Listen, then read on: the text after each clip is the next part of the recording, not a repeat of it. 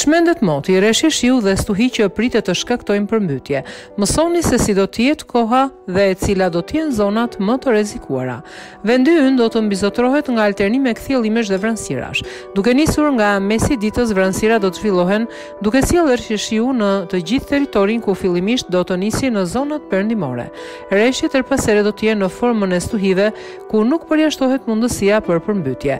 Sipas MeteoAlb, temperaturat do të pësojnë një rritje të lehtë ku do të variojnë në zonat malore nga zero në katërmbëdhjetë gradë Celsius, në zonat e ulëta nga dhjetë në njëzet gradë Celsius dhe zonat bregdetare nga dymbëdhjetë në njëzet e tre gradë Celsius. Era do të fryjë në drejtimin jugor, ndërsa forca e valëzimit në det do të jetë gjashtë ballë.